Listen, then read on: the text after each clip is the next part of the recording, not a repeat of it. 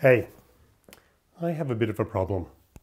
That problem is an obsession with Hewlett Packard calculators. Um, and today I want to share with you my latest acquisition. It's not technically a Hewlett Packard calculator, but it's very close. It is the SwissMicros DM42. It is a clone of the venerable HP 42S, which uncontroversially is absolutely the best calculator ever made. Um, no one thinks otherwise it, it's, it's the best. And I happen to have a few of them. This is my current daily driver, my second HP 42S. I've got a lot of HP calculators. Not all of them are out here. I figured I'd focus on this lineage. Um, this was a calculator released in 1988, and I got my one in, my first one, um, in 1993. I got it because I was an annoying, pestering child. Um, and I updated the autoexec.bat on my father's computer, for those of you who remember that, to say, hey, get your son HP42S. And I was a little bit spoiled. I was lucky to have some parents who had some cash, and uh, I got one of these guys. And I loved it, unfortunately, to death. This is the original one. I'm not going to zoom in and show you what state it's in. The cover plate's missing this suffered um, water damage or some sort of solvent damage. I can't remember the exact circumstances of its death, but it died probably 10, 12 years after I got it. And um, I tried repairing it and it, it, it, it's no good. So I've kept it really just um, to remind myself not to do this to, to my new calculators because I love this guy. Why do I love them? Well, I love HP calculators in general for a couple of reasons. They're all, well, not all of them, but all the good ones a reverse Polish notation. This is not a great video to introduce you to what RPN means, um, but in short, it's a much more efficient way of using a calculator. You use less keystrokes to enter in formulas and do arithmetic. And it's also far less ambiguous. You don't have to worry about orders of operations and brackets and division and what all that stuff comes in. It's completely unambiguous how you use it. And it's really easy to work with sort of nested formulas and data and, and stuff like that. Um, that's the first reason, RPN. Now, HP is not the only calculators to make RPN, only company to make RPN calculators, but the thing that really sets HP apart is sort of a unified uh, design aesthetic. Um, and it's really a case of form following function and the form being really good. This is, feels beautiful in the hand. It's got nice rounded edges. It's a plastic case. It's got reasonable weight. It's not too heavy. Um, the keys just feel great to press. Um, and all the functionality that you want is sort of just a thumb away. Um, and they've got nested menus that let you dive deep for rare functions, but you can reconfigure the menus to put the functions that you like at the top. And of course, it's all programmable.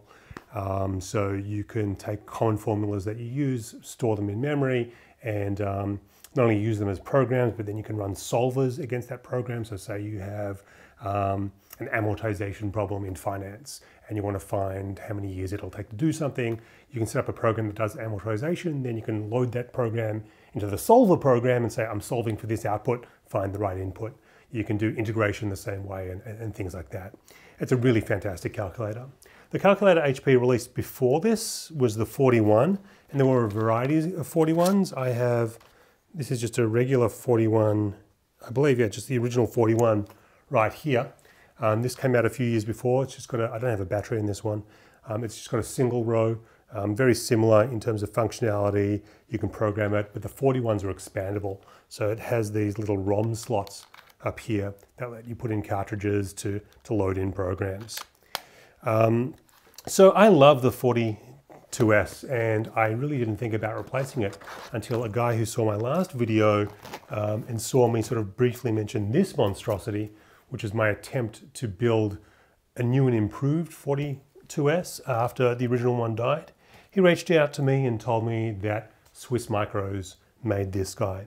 And the reason why I jumped on this was really twofold. One is it's got a much faster processor. It's been completely sort of, the architecture is, I don't know why I keep on putting them back in the cases. They're hard to pull out. Um, the architecture is uh, modern. I believe it's an ARM chip. We'll open it up and have a look. Um, it has a bunch of additional sort of processing power, which is nice, but the UI and the UX and all the buttons for the most part are the same. And I'll get into the differences in a sec. But the big reason why I like this is it's got a USB port. Not only does that allow for charging, but it allows you to download programs and upload programs. Um, the 42 you had to type all the programs in by hand. There was no way of storing them remotely. You could use the infrared output and print them out, so you could type them back in later, but there was no way to get the data back in unless you typed it back in. And so I used to have a bunch of really cool programs on here, um, but I've lost them. Uh, when you change batteries, you have to do it within a certain time or else the RAM falls off and um, yeah, it's just hard to keep a catalog of programs. I remember um, I was at Physics Olympiad camp because I'm a nerd, and um, a bunch of the kids there had their TI calculators, their fancy graphing calculators. They thought they were so special. And this is not a graphing calculator, and they're all off programming Mandelbrot sets on their calculators. And I'm like, this can do that. There is a way to set the pixels individually on this uh, dot matrix display. Um, although its default mode is sort of just dot matrix of numbers, you can actually get a Mandelbrot on this. And um, that made me the cool kid for a while in a very, very small niche circle. Anyway, um, enough about that. Let's talk about this guy, the, the, the DM42. I've only had it for a couple of days. I haven't dived deep into its functionality. This is just going to be my first thoughts. First thought when I opened up the boxes, I, I was worried it was going to feel cheap and chintzy. Um, it feels good. It's got nice weight. Um, it's a little bit smaller than the original 42S. It's narrower uh, width-wise. It's, it's narrower in every dimension, um, but it feels a little bit more solid. Um, this has got a sort of, I'm not sure what the plastic is, but a plastic case. Um, this is metallized rubber, um, and that feels good. The screen is much larger, which is great. Um, it means because uh, RPN and the HP system is a stack-based um, interface, uh, you can see the full stack here, whereas you sort of have to remember what was in the stack. We could scroll through on the display, but here you can see it all on the screen, which is nice. Um, the other thing that they've done here, which unlocks some cool functionality, is they've added an additional row of keys up the top. Um, on the 42S, uh, when you go into menus, the top row of keys become sort of soft keys. Let's see if I can uh, show you there. So a little, I'll zoom in and show you this stuff, but there's a little menu down the bottom which overrides these keys, which means you can't use these keys without hitting the top function menu to get back to the top function keys, if, if that makes sense. Anyway, um, this guy gets around that by just having its own soft keys. And that means they don't need the top function button. So all the buttons are the same with, except for the addition of this top row. And this, when you press uh, shift zero, you'd get the top function keys on the other calculator. Here it brings up a setup menu. And what that exposes you to is a file system. It allows you to set settings for how you want the display to look. But the really killer feature for me is the fact that you can download and upload programs. Um, now, why do you even sort of use a calculator these days? You've got a phone. Um, phones are great for sort of basic arithmetic, um, but I find myself in a shop frequently. I'm either doing electronics on my electronics workbench and I need to calculate a cutoff frequency, or um, I'm working on the lathe and I need to do some math so I don't screw up a part and working with inches is a pain in the ass. I have a calculator around me at all times when I'm in the shop. When I was in business and, and, working as an executive, I carried my calculator to every meeting for doing just sort of quick little sums to double check things. I'm not great at mental arithmetic, and even if I was, there are just things that it's, it's easier to do um, with a program or with a calculator in your hand, and it just feels nice to have it. Um, whereas a phone, um, you sort of can't use it blind, not that you're not looking at a calculator, but you sort of, when you know and you have the muscle memory for where all the keys are, um, it gets really quick and easy to use this stuff. Um, so I like having calculators. But as happened with the 42S, um, the first one, it died in shop use. So when I'm using my real one in the shop, I always keep it in a Ziploc bag. I can see everything, but it keeps it a level of protection um, from sort of solvents and fumes and flux and dirty hands and other things that happen when you're working in a shop, um, which is why this one hasn't suffered the fate of the other one. I was hoping that this guy would have um, sort of better fit and finish. It's, it's not quite there yet. Um, my sort of initial perspective on this is that in terms of the, the, the file saving functionality in the bigger screen, that's fantastic. This means this will absolutely be my daily driver it just doesn't feel as good um, as the original HP. The buttons are, because the dimensions are smaller and because it's got that additional row, the buttons are smaller. Um, they don't have the same rounded edges. They don't feel as smooth to the touch. And I'm not gonna be able to get this on video. Um, But the key click here, let's see if I hold it to my mic. It's clicky, which is good. The travel is okay. Um, well, my mic's down here. Let's see if I can do that again. This is sort of just smooth. You can't hear it, but it just, it feels, it's got that rubber, then the good detent, it's not a hard press. I could press these keys all day. These ones, yeah, um, it's not going to stop me from using it, but it just doesn't feel that level of quality. Um, and on the topic of fit and finish, the holes around each of the keys is a little bit larger, which gives more opportunity for ingress of nastiness. Um, the printing, the screen printing on here, it's not great. Um, you can see sort of the pixels. It's just not that high quality um, screen printing that you have on, the other calculator. I'm concerned that these will rub off over time. Um, I'd love a backlight on this screen. That, that, the other one doesn't have it, but this one could have it. Um, that's nice for working in dark environments. Um, the other thing that I don't love about this is, and this is really not a nitpick on the DM42S, is kind of where I was going with this calculator was saying, okay, the 42S has a great keypad layout, um, great general usability. There's a lot of really great design inspiration you can take from it, but computers are a lot faster than they were in 1988. And so I wanted to improve the programming language. Uh, after the 42S, the HP released a 48 series.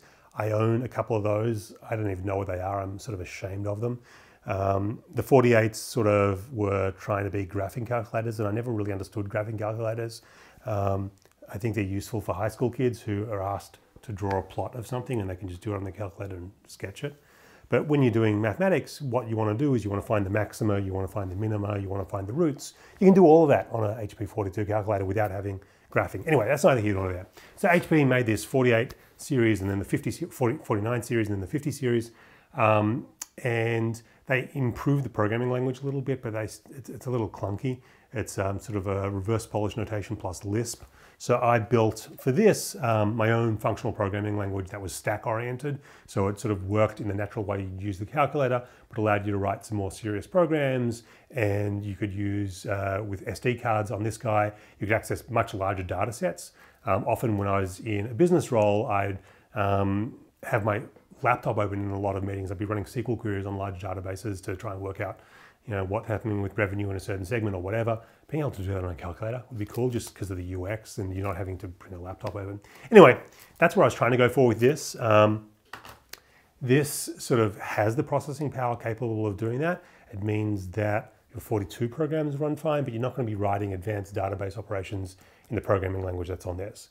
The great thing though about this is I believe it's all open source. You can flash the ROM um, through the, the USB. So there's an opportunity that I could go out and build uh, all that stuff on this guy.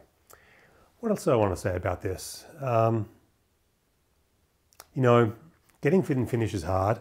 Uh, HP is obviously able to do it at the scale of production that they were at. Um, you can also get it in small batch runs when you have a lot of hand finishing. This sort of fields in the middle. Um, I think this was around 200 US dollars. Um, cheaper than what you can buy a secondhand 42S for. And uh, given that it's more functional, I think you're getting more bang for your buck. But honestly, I don't feel as bad about killing this guy. It doesn't feel like an heirloom piece. Maybe it's just that I have the emotional connection to the previous guy because of, um, you know, I got it from my dad and all that sort of stuff. Um, but this just doesn't feel like a Swiss watch or something like that. Um, I'd pay like three times as much for this sort of functionality uh, with great fit and finish. Oh, that reminds me the other thing I wanted to say is it's got the big screen, but because it's trying to be a really faithful reproduction of the original HP 42, it doesn't use it well. Um, a lot of the menus that they've added on just don't aren't designed well in terms of the use of the layout. It just feels sort of tacked on. It feels like you've got the HP 42 stuff there that's been tacked onto this screen. There's a lot of blank space when, I mean, let me just turn it on. Um, when you're using it, uh, I'll, I'll, zoom in and bring you some shots. It just doesn't feel like it's the, the, the calculator was designed for the ground up for this screen. And it wasn't because they're taking a two line screen and putting on this gorgeous dot matrix large display.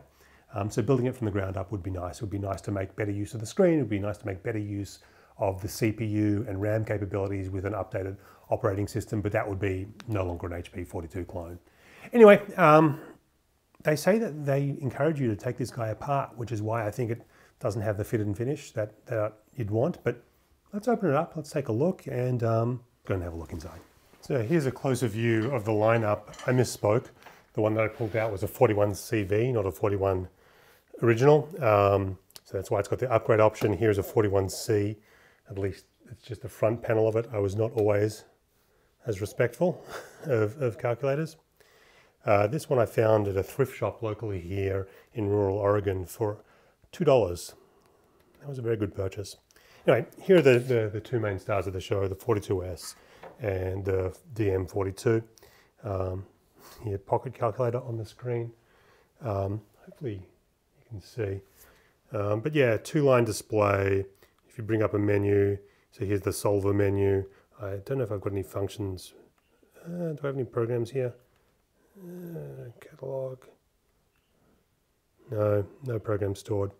Um, but you can do solving, integration, uh, a bunch of linear algebra and matrix operations, statistics, all that sort of stuff, all on this little two-line display.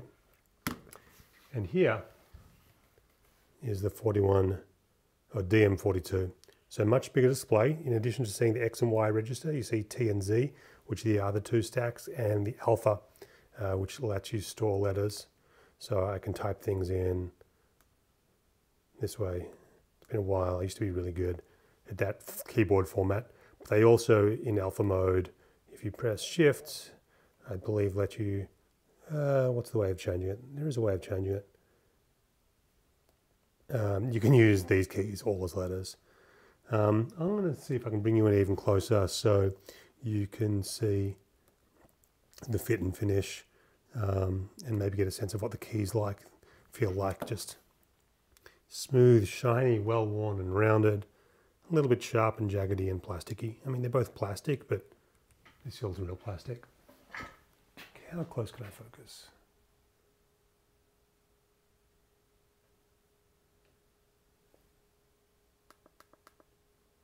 I don't know if you can see the quality of that printing is not great. Yeah, it just doesn't look as classy. The colors aren't right.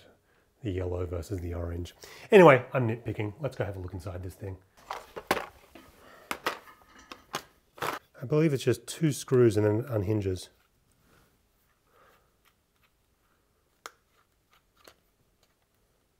Serial number 6474. I wonder if that means they've only made, well, not only made, they have made 7,000 of these. All right. So we have an STM32 core um, in there. What else do we have? Being short-sighted means I take my glasses off to see what's going on. I'm not sure what that chip is. I could Google it. I'll put it on the screen over the top. I'm sure there are other more thorough teardown videos, but clearly it's designed to be torn down. It says release LCD connection before unscrewing display. So that is back here. All right, put that out. We've released the flat flex for the LCD. I'm curious what the keys are.